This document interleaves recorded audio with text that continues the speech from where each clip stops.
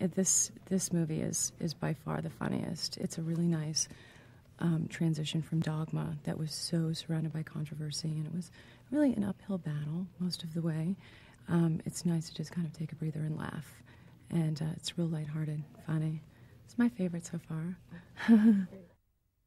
I think that people love Jay and Silent Bob because, well, Kevin's hardcore fans because they've seen the two characters start out in an independent movie $27,000 flick that really made something for itself.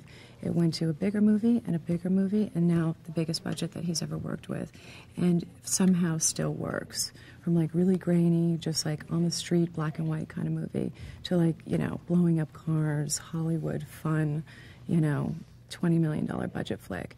And I think that his hardcore fans really appreciate that. And the chemistry between the two of them is so genuine.